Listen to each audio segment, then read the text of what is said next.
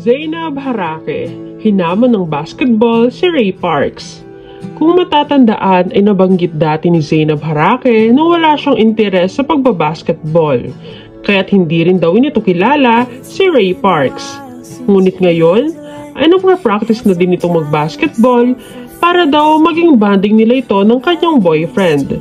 Ngayon ay nagpost si Zainab sa kanyang IG story kung saan nasa court ito at naglalaro ng basketball.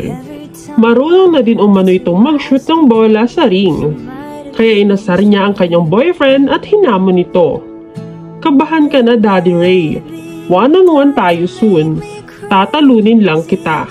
Pabirong caption ito. Hindi pa alam kung kailan ulit makikitang dalawa dahil sa pareho silang busy sa kanya-kanya nilang career. Ngunit ayon kay Zainab, ay kung magkakaroon daw siya ng oras, ay siya na mismo ang pupunta ng Japan para bisitahin si Ray Parks. So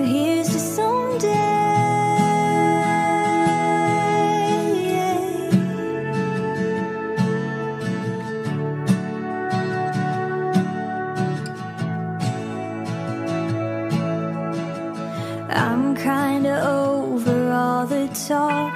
Miss Independent never worked for me. No, I don't really mind. There's nothing wrong with needing you. Anyone who wants to criticize isn't worth the time.